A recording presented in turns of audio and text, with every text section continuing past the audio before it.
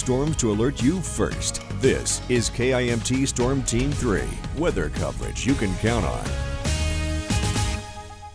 Welcome back in TGIF, everyone. That's right, it is Friday. We've got a fantastic weekend coming up, but you'll note that this Friday happens to be a little cloudier and a little cooler than what we experienced, say, our Thursday, where the sun was shining bright. We did see some sunshine, though, in Albert Lea as I push time forward here beautiful sunrise. Despite the fact that there was some cloud cover there for a moment, we got plenty of sun. But then as we started to enter into the early afternoon, and now here we are with cloudier skies over Albert Lea, that will be the continuing trend for a lot of us as we get into the later afternoon here and even into the early evening before those clouds simply go away. More on that in a moment. Right now, it is 39 degrees in Albert Lea. Yes, that is a big difference from yesterday, but it is still above average. It is almost at 40 degrees, and I don't think we can complain. 39 is not too bad. 44 and 46 across North Iowa. Some great temperatures there, no doubt. In Rochester, we're at 38. Got to factor in the winds. I did want to show the wind chills. It feels like 29 on any exposed skin right now in Rochester. Feels like 31 in Albert Lea. Not as bad in places like Charles City, sitting at 40 degree wind chill, but it is still something to note, especially because I know a lot of us are itching to get back outside. So if you're going for a walk this afternoon, yes, you'll need a coat probably not a bad idea to have a hat, maybe the gloves as well, especially if you plan on being there for the whole four hours stretch that we've got. Cloudy skies, winds not too bad, just around that 10 to 15 mile per hour mark. Again, pushing down those 30s to make things feel a little cooler.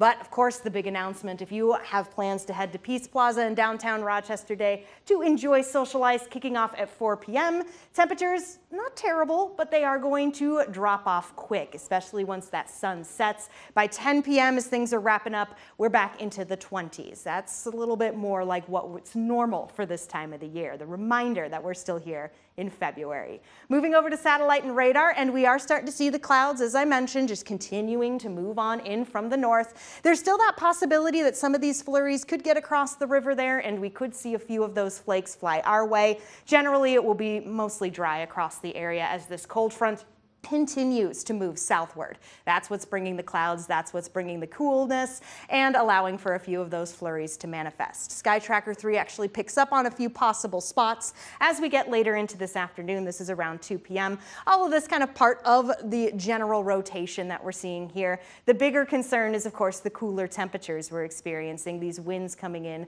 almost straight from the north by 4 p.m. But by 6 p.m., we start to see some evidence of breaking apart. By 9 p.m., those clouds melt away, and it really sets the stage for an excellent weekend as the sunshine returns. That's going to warm us up back into the 40s for Saturday, upper 40s near 50 for Sunday, and yeah, that's, that's not a typo, my friends. We could be breaking records once again as we kick off the new work week. It's here on the seven day forecast where the weekend is always in view.